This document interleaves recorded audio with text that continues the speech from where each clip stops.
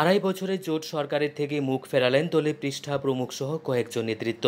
ঘটনা তেলিয়ামুড়া আঠাশ নং বিধানসভা কেন্দ্রের অন্তর্গত বাহান্ন নং বুথের বুথের পৃষ্ঠা প্রমুখ বুথ সম্পাদক ও এসসি মোর্চার সভাপতি দিলেন ইস্তফা। তারা প্রথম থেকেই ক্ষুব্ধ ছিল বিজেপি দলের উপর, কারণ তারা প্রথম থেকেই যে মানসিকতা নিয়ে মানুষের সাথে মানুষের পাশে কাজ করার অঙ্গীকারবদ্ধ থাকতে চেয়েছিলেন, বাস্তবে তা হয়েছে অশ্বডিম্ব। তারা প্রথম থেকেই প্রথম সারি নেতৃত্ব হয়ে বিজেপি দলে কাজ করলেও তাদের এলাকার উন্নয়নের ক্ষেত্রে তেমন একটা উন্নয়ন করতে পারেনি তা নিজ মুখেই স্বীকার করেছেন নেতৃত্বরা। দলের নেতৃত্বদের কাছ থেকেও কোনো সহযোগিতা পাচ্ছিলেন না। এমনটাই অভিমত ব্যক্ত করেন ওনারা।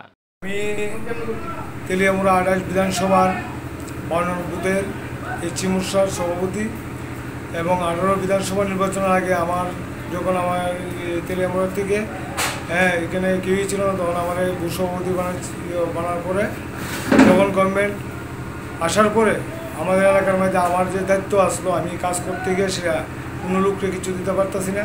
তারপরে আমি বারবার ওই যে আমাদের এখানে এমএল কল্যাণীদি উনি একদিনও আর দেখা করেনি এখানে গিয়ে, সে কোনোদিন আমরা লোকে কোনোদিন মিটিংও করে না, কিছু করে না। যেহেতু ভূ সভাপতি আসলো, সমন দাস, হুম বাজার কমিটির সভাপতি আসলো তারা নিয়ে এসে আমরা বারবার মিটিং করার পরে আবার বাড়ি বাড়ি আমরা যাই, যাওয়ার পরেও কোনো কাজ করব মুসলিম কয়েকটা লোক, এই চির যে সবাই জানে সামন দাসেই যেটা পারতাছে সামন দাস, বিমল, তার ওই যা ইচ্ছির যা পনার থেকে দৈরা যা আছে সব কিছু তারাই ইয়ে করতেছে।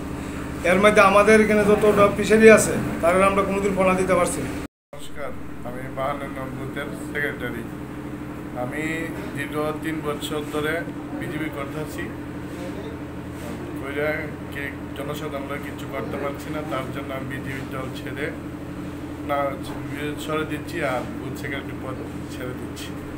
Bureau report Tripura twenty four into seven.